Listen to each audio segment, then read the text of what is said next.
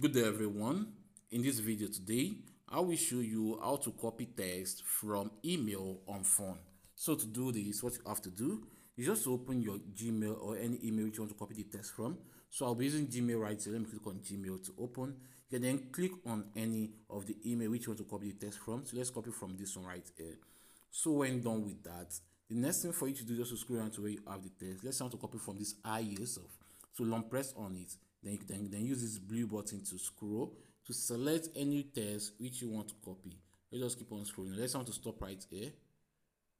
The next thing for you to do okay as you can see right now it will bring out the copy option which is one at the top right here. So you can then click on copy to continue. So when done with i can then go anywhere of your choice and paste the text which you have copied. So let me just come to notes right here. Then click on the plus button so i can then click on the plus button so let me paste it right here. So to paste on anywhere on your mobile, just long press on anywhere you want to paste it to. Then you see this paste option at the top of it. Then click on it to continue. As you can see, I've just copied and pasted this text right here.